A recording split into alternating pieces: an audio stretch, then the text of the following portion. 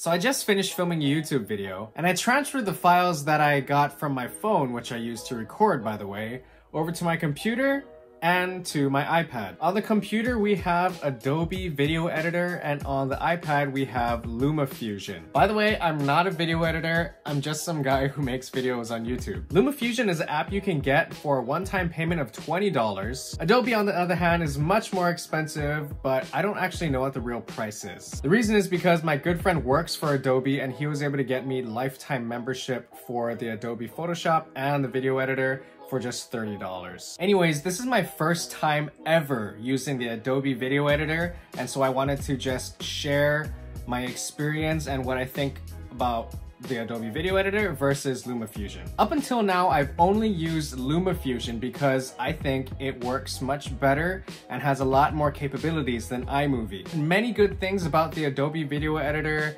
and Final Cut Pro uh, but I've never used any of those pro softwares before, so I'm happy to be able to try Adobe Video Editor for the first time today. All right, so already I can tell that I might have a little bit of difficulty using the Adobe Video Editor uh, because I don't know how to use it at all. Okay, this might take a little longer than I thought because I just don't know how to use it yet. Actually, I'm probably gonna have to get back to this tomorrow because I have to take a phone call and I'm not gonna be able to finish this until tomorrow. Good morning! It is the next day. I changed my shirt and I'm about to start editing my video on Adobe Premiere Elements for the very first time. There's a few things I wanted to record during this experience. I want to measure how long it takes me to edit the entire video. Once I get used to learning where all the different items are in the software itself, I want to see how easy it is to use compared to LumaFusion. And of course, I want to see the quality and the size of the file when the entire project is done. So pretty much after editing this project, I'm going to try to do the exact same edits using LumaFusion on my iPad iPad and then compare the two identical projects at the end. Without further ado, I'm gonna start editing this and I'll get back to you guys in just a bit.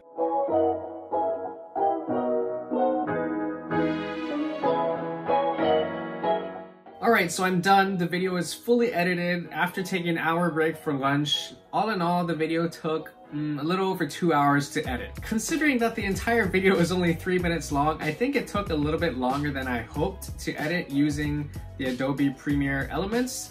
But again, that's because this is my very first time ever using the software, so I had no idea where any of the tools were or how to use them and stuff like that. For example, it took me a while to figure out just how to change the color of the text because the text color editor in here is not very intuitive. However, after getting used to it, I was able to see just how powerful this tool is. For example, I like how much easier it is to specifically set the RGB values when creating a custom color. Of course, working with a mouse and keyboard is always nice and comfortable. The toolbar on the right side is very useful and has a lot more capabilities than the iPad. And the shake reduction tool is surprisingly really good. It is much better than the one that I have on my iPad. Alright, so now that I've finished editing the video on the computer using Adobe Premiere Elements, now I'm gonna try to create the same edit using the iPad on LumaFusion. It's a pretty short and simple, not fancy video, so I don't think it should take very long.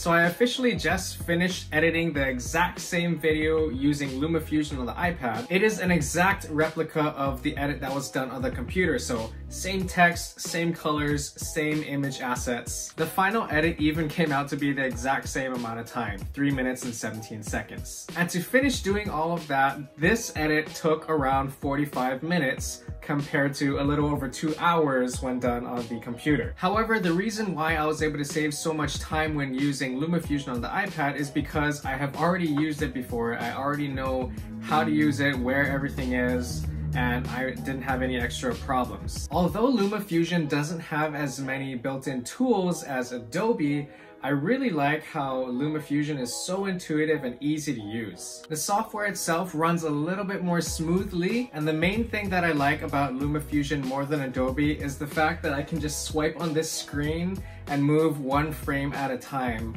where I still don't know how to move one frame at a time using Adobe yet. And dragging and dropping transitions using LumaFusion is a little bit more intuitive and to me a little bit easier to visually see. With that said, I'm now going to be exporting both of these projects and I want to see how fast both of these softwares can export the project, and how big the project is when it's all done. All right, so now we're gonna see how long it takes to export both of these files. I'm gonna try to click save at the exact same time for both of them. So ready, set, go. And now it looks like LumaFusion is completely done exporting the file while Adobe is still only at 33%.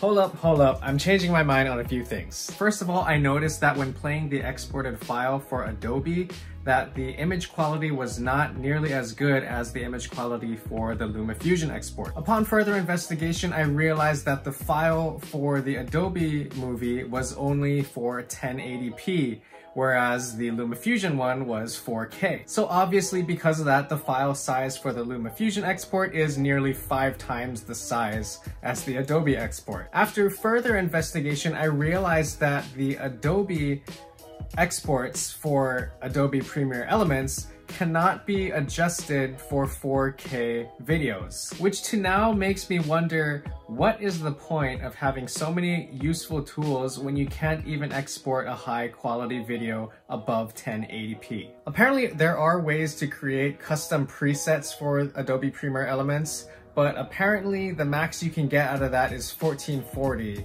not 4K. And the only way you're gonna get 4K, it looks like from what I've seen so far, is you have to get Adobe Premiere Pro. So after all of that, three plus hours of filming and editing both of these videos, I'm gonna have to say that I still am going to be using LumaFusion on the iPad to edit videos simply because I can export videos with 4K. Plus, it's only a one-time payment of $20. The only way I was able to get Adobe Premiere Elements for $30 is because I have a friend who works at Adobe, so he was able to get me a special price. It normally doesn't cost $30, and I think it's like a monthly membership fee that you have to pay. So again, I'm giving this one to LumaFusion. I'm gonna be using this from now on.